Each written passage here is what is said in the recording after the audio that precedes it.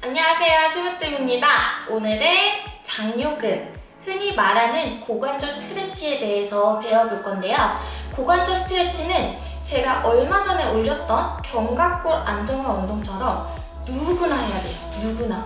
왜냐면 고관절 이 골반이 접히는 부위 자체가 굉장히 근육이 항상 단, 단축되고 약화가 돼요 그래서 스트레치를 해주면서 약간의 강화 운동이 필요한 부위거든요. 그리고 또 하나의 비밀이 허리가 약한 분들은 장요근의 문제가 조금 있는 경우가 되게 있어요. 그러다 보니까 허리 통증을 예방하기 위해서도 필요한 운동이면서 앞벅지가 좀 굵어가지고 고민이신 분들 있죠. 제 경우에도 19살 때부터 최대 입시로 운동 시작해서 점프 운동만 하고 그래서 허벅지 앞, 앞에만 굉장히 두꺼운 허벅지를 가지고 있었어요. 그래서 저는 20살 때부터 꾸준히 이 스트레치를 해왔고 현재는 굉장히 많이 슬림해진 다리 라인을 가지고 있기 때문에 앞벅지가 고민이신 분들 허벅지 자체를 좀 얇고 탄력을 만들고 싶은 분들한테는 무조건 강추를 하는 동작입니다. 처음부터 배워보도록 할게요. 먼저 이 고관절 부위의 무브먼트 자체가 이렇게 일어나게 돼요. 그래서 얘네 근육을 약간 움직임을 만들어내 볼게요. 네발 자세로 취해주신 상태에서 얘는 무릎을 오른쪽만 살짝 바닥에서 떼는 거예요. 그리고 무릎을 그대로 유지해서 골반만 둘 덩키킥은 아니고 몸을 유지한 상태에서 약간 이렇게 그네를 타듯이 움직임만 줘보도록 할게요. 10번 정도. 둘, 셋, 넷, 다섯. 반대쪽도 가볼게요. 하나, 둘, 셋, 넷, 다섯, 여섯, 일곱, 먼저 오른쪽 다리를 스트레치를 해볼 거기 때문에 왼쪽 다리를 양반 다리로 취해볼 거예요. 앞으로 양반 다리, 오른 다리는 발가락을 꺾어서 다리 위치를 약간 뒤로 보내는 거예요. 그러면 형태가 지금 여기에서 여기를 보시면 약간 늘어난 상태가 돼요. 보이죠? 이거랑 이거랑은 확실히 다를 거예요. 위치인 상태에서 다리를 뒤로 발등까지 펴줍니다. 자, 그 상태에서 양손을 바닥을 짚고 허리를 꺾는 게 아니라 이 장요근 스트레치 할 때는 절대로 허리를 사용해서는 안 돼요. 최대치로 복부의 힘과 엉덩이 힘을 같이 사용해 주셔야 돼요. 손을 바닥에 살짝만 댄 상태에서 손, 볼 부분으로 바닥을 밀어내시고 호흡을 내쉬면서 자, 저도 호흡을 배에다가 호흡을 깨면 배가 이렇게 나와요. 호흡을 내쉬어볼게요. 동시에 가슴을 약간만 들어주는 거예요. 허리를 꺾지 마시고 가슴을 그냥 펴서 바닥에서 내가 약간 붕 뜨는 느낌으로 해보시면 굉장히 아프거나 시원한 느낌이 같이 들 거예요. 너무 아픈 분들은 상체 각도를 조금만 숙여주시면 돼요. 이대로 20초 정도 멈춰볼게요. 둘,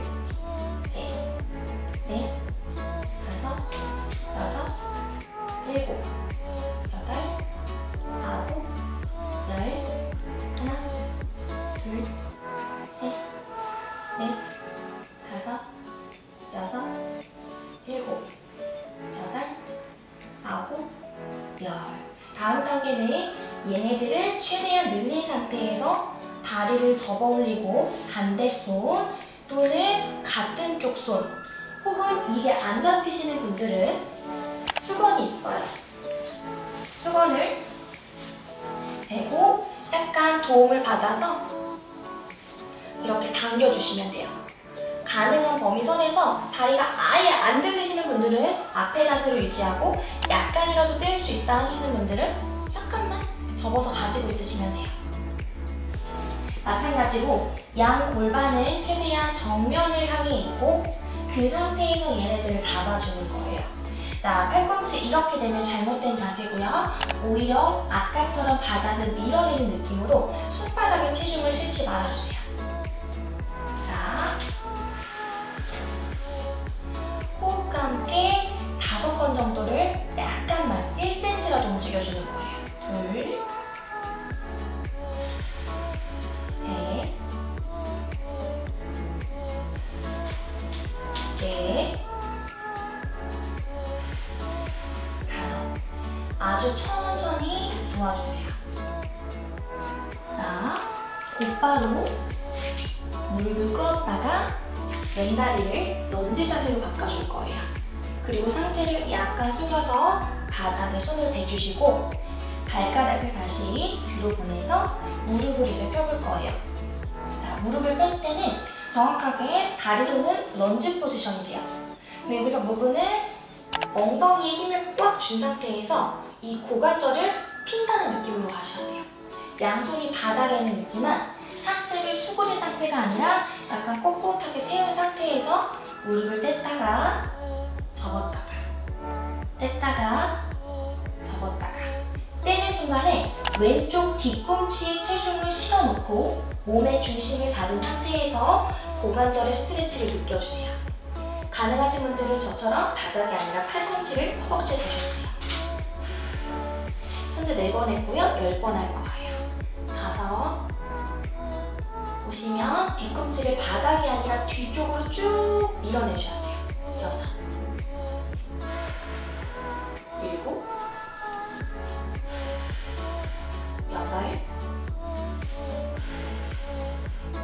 아홉 열에서 유지하세요. 자, 다음 동작은 조금 어려워요. 가능하신 분들만 해주시고요. 오른손을 위로 들어주세요.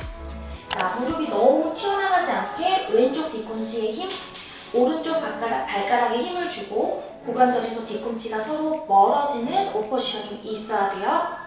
유지. 자, 10초간 유지할 거고요. 나머지 10초는 상체를 조금만 회전해서 오른손과 척추가 뒤쪽 방향으로 이렇게 길어져요. 손으로 그려드리면 오른손부터 겨드랑이 옆구리 지나서 고관절 그리고 종아리랑 발끝까지 길어지는 느낌을 가지고 계시면 돼요.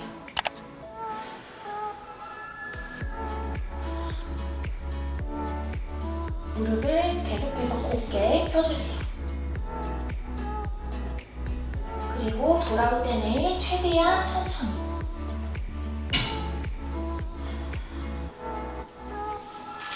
모양만 봐도 허벅지 앞쪽이 길고 예뻐질 수밖에 없겠죠? 반대쪽 가볼게요. 자연스럽게 다리를 뒤로 보내서 내려놓고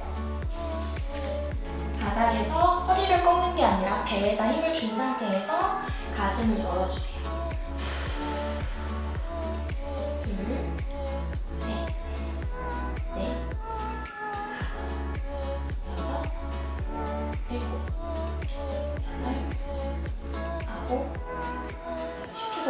볼게요. 자, 왼쪽 고관절이 골반과 배꼽 사이가 약간 길어지는 느낌을 속안에서부터 끌어내셔야 돼요.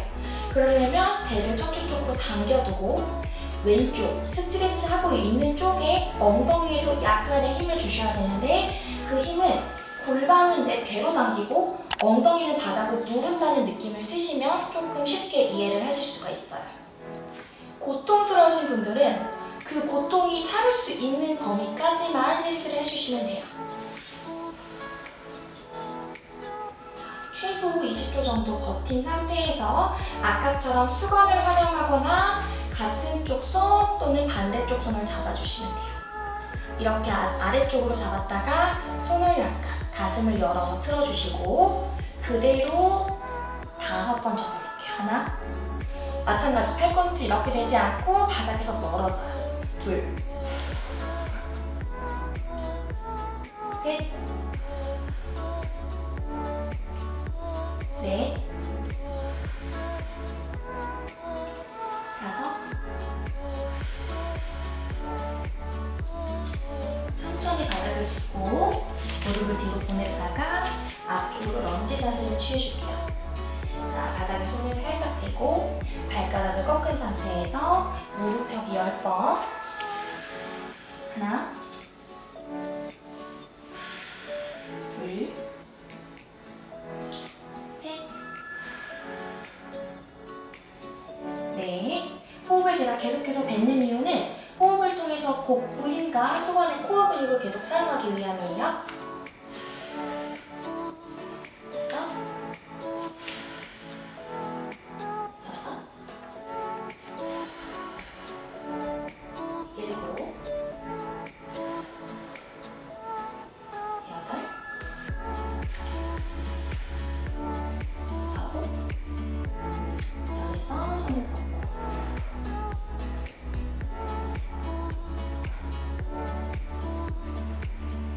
있는 힘을 다해서 왼쪽 골반을 최대한 늘려주세요.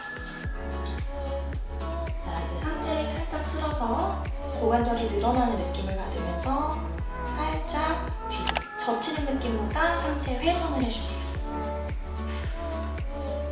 왼손끝부터 왼쪽 뒤꿈치가 서로 멀어지는 느낌으로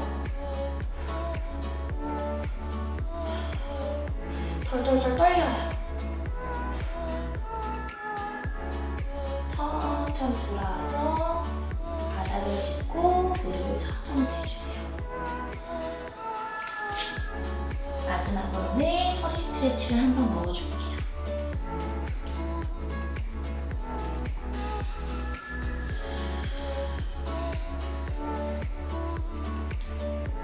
천천히 미끄러지듯이 허리를 세워서 일으켜 세워주세요. 자, 이 운동 같은 경우에는 단계적으로 맨 처음에 고관절의 무브먼트 니은자로 제가 다리를 접어서 뒤로 찼다가 올렸다 했죠? 그 동작을 좌우 10번씩 해주고 한 동작에서 최소 20초 또는 10번의 동작을 해주는 거를 곱하기 3세트 그러면 시간이 지남에 따라서 장요근을 스트레치하고 강화했을 뿐인데 허리가 강화되고 고관절이 좀 보호가 되면서 허벅지 근육보다 엉덩이 근육을 더 부드럽게 잘 사용하게 되고 고관절의 접히는, 접히는 느낌이나 뚝뚝거리는 소리도 일부 개선이 되는 분들도 있을 거예요. 이 장요근이 골반에서 소리가 나는 이유 세 가지 중에 하나에 속하기 때문에 충분히 많은 분들이 도움이 되실 거고요. 특히 엉덩이 운동이나 하체 운동할 때 허벅지 앞쪽이 많이 아프고 엉덩이 근육이 덜 사용되시는 분들은 힙 운동이나 허벅지 운동을 하기 전에 이 장요근으로 몸을 풀어주시면 훨씬 더 운동 집중도나 효과가 올라갈 거예요. 자, 오늘도 열심히 따라해 주시고 다음 영상에서 만나요.